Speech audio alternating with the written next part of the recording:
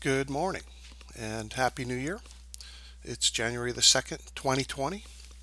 I'm going to make a little video here to show you what I've been working on this morning along the uh, Pennsylvania and Maryland boundary line called the Mason-Dixon line. And uh, we'll look at this map a little bit later in this video, but uh, a bit of a channel review first. Let's go here to my channel. And uh, I've, get, I've gotten some comments lately from people saying they didn't realize I had done this or that. Uh, you know, I've got uh, a lot of videos up here with lots of measurements uh, on lakes, roads, and other places. And so I guess I'll just do a little rundown quickly here so people will be aware of what they can find here. Of course, I have pinned here the fantastic test done out on Rainy Lake.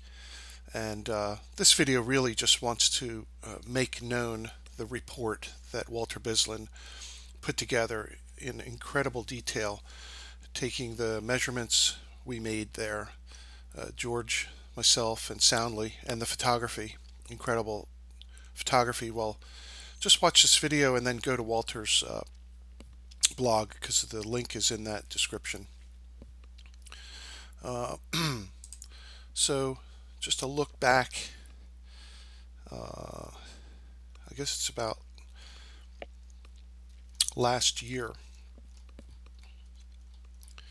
that uh, I became interested in the boundary line between Delaware and Maryland and then uh, Maryland and Pennsylvania.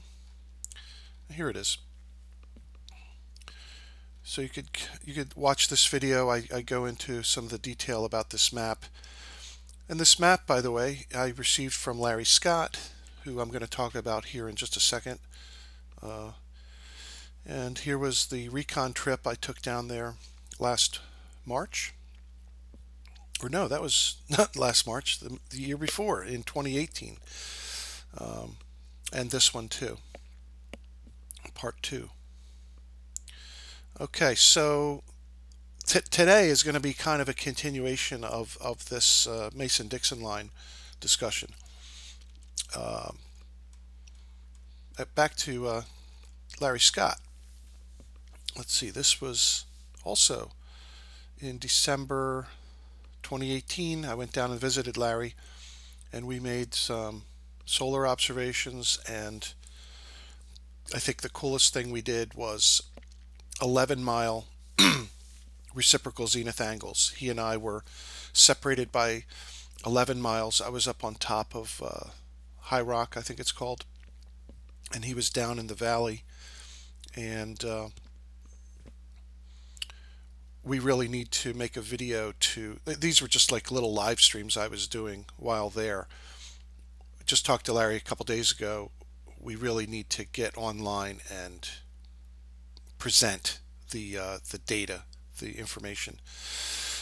So I'm kind of putting you on the spot Larry so I'm calling you out. Anyway I I really enjoy my uh, surveying friendship with Larry because uh, there's a lot to learn from this gentleman and uh, so you know I'd like to share that stuff with everybody here who's interested in in this type of uh, surveying that we're talking about. So I think that's I just wanted to point those couple things out and with that I'm going to go to oh this website here that actually Larry I just got from Larry. I get a lot of information from him. I'm learning a lot and uh, this is a, a group of people that have been working together to preserve these old markers along the uh, Mason-Dixon line. And, uh, you know, there's lots of photos up here. I'm gonna not gonna spend a lot of time on this. I will include this link in the description for anyone that's interested to come and take a look at this. So, pretty cool. So they go out and recover the old markers, uh, uh, do what they can to preserve them and possibly reset some of them. I'm not exactly sure. I, I just got this from him a couple days ago, and uh, I'll take some time and start looking into this. Here they have a little um, little map, little web application that uh, lets you take a look at their what they're calling their stone inventory. So so there's that, and I'll show you that. I have an Excel spreadsheet. Who did I get it from? Larry. Larry's been in touch with that group, and they shared uh, this in inventory with him.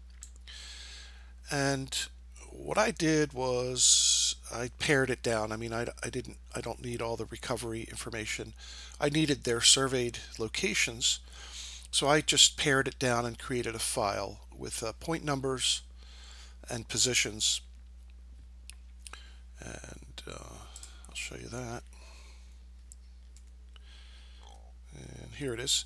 So I converted them to uh, Earth-centered, Earth-fixed XYZ coordinates, made a comma separated file, and uh, created a descriptor, just MD line marker. And these are the, the actual mile markers along the line. I'll show you that in Google Earth. Do I have Google Earth open? Oh man, I gotta pause this and uh, open Google Earth. Hold on. Alright, so continuing on, I had to pause the video because I, I meant to have Google Earth open and I didn't and uh, it takes a long time for my Google Earth to load because I've got so much stuff uh, in here. Here you're looking at all of the National Geodetic Survey CORS. That's a nice KMZ to, to load. And uh, if you looked at my video that I did the, just a couple days ago um, about Kansas.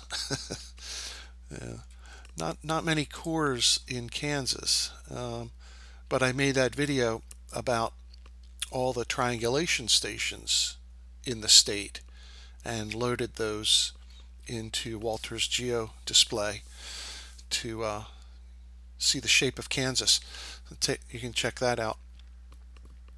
Um, I do have an interesting thing to kind of tease you with is uh, oh what do we have here? Yes I did. I went ahead and uh, loaded all the CORS into Walter's GeoDisplay. Uh, let's see options let's turn off these ground lines and turn off the heights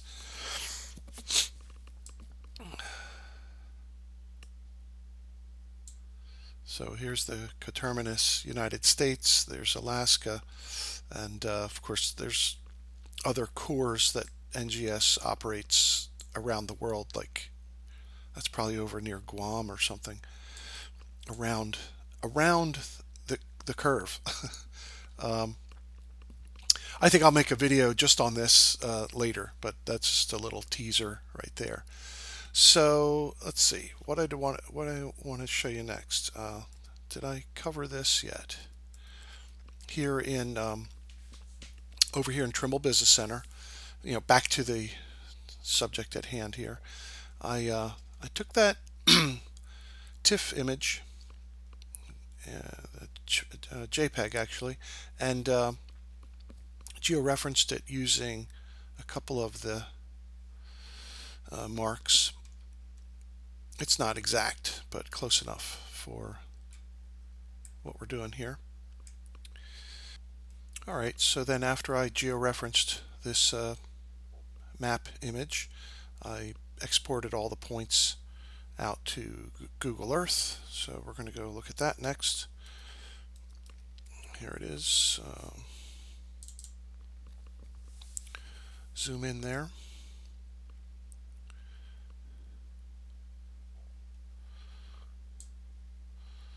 And uh, so what we see, these are actually, I, I numbered these according to the mile marker that they are. So think about that. It's, uh, you know, it's one thing to sit here and look at stuff like this on your computer screen, but give some thought to the fact that these surveyors lugged out, lugged these stones out and surveyed this line mile by mile, setting these stones, you know, crossing this river and staying on this line of latitude to set all these markers. That's a mile point 34. I think this goes all the way out to um, 175 or something. I need to get more familiar with this. Uh, wow. So here we are out in, uh, this is where we did the observations with Larry uh, across that valley uh, two years ago.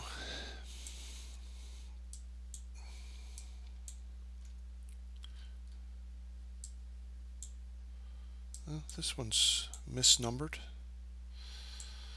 167, 175, and then here's that marker at at that. Uh, that's a tri count tri-state boundary right there. Uh, West Virginia here, Maryland, and uh, Pennsylvania.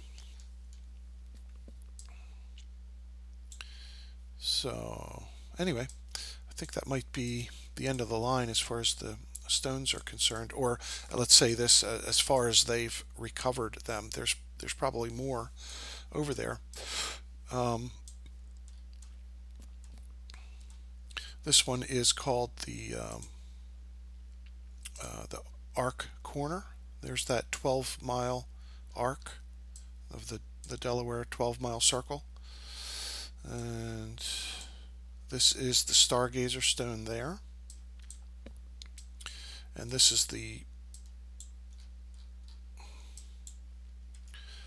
that's the boundary line between Delaware and this is uh, Maryland. And that's the one I visited uh, in, in, that video I showed you earlier. You can take a look there. And again just to impress upon you the the fact is that they measured that line twice up and back way back when. Um, pretty cool. Oh, I wanted to show you this. This is kind of neat. I, I was looking around in here and you know how people can upload their own pictures to Google Earth. Somebody came out and loaded this picture of that marker. Pretty cool.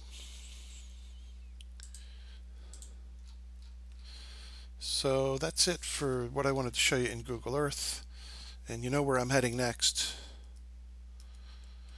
Alright, and then again, this is a video to come. I loaded the the points into Walter's GeoDisplay. And here it is. Let's go back to that. Here we go.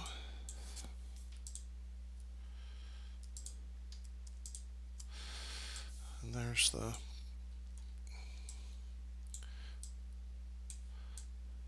Yeah, I'm not that good at orbiting around in here, but let's bring it back. Boom. Let's see here. Let's try to get a northward looking view. There we go. And I'm tilted.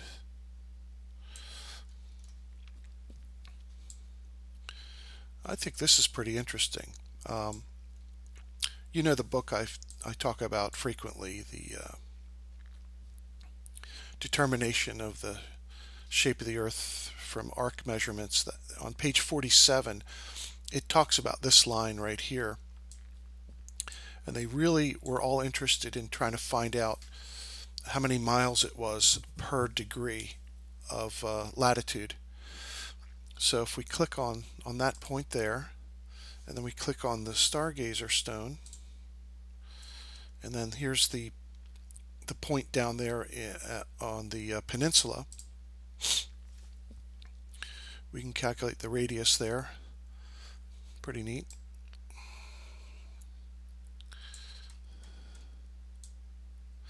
And then we could do the same thing going across the state. Uh, let's see, I'll pick like about midway, let's say right here. I don't know, just kind of plunking this and I'll grab that guy right there. And how about this one over here?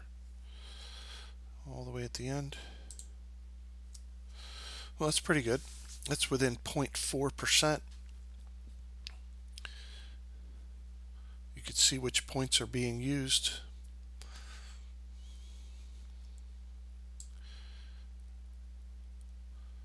That's pretty slick. I think that's uh, that's all I had to show you for now. Uh, just things I'm playing with. Again, uh, hopefully this wasn't too long of a video, but uh, this stuff is fun.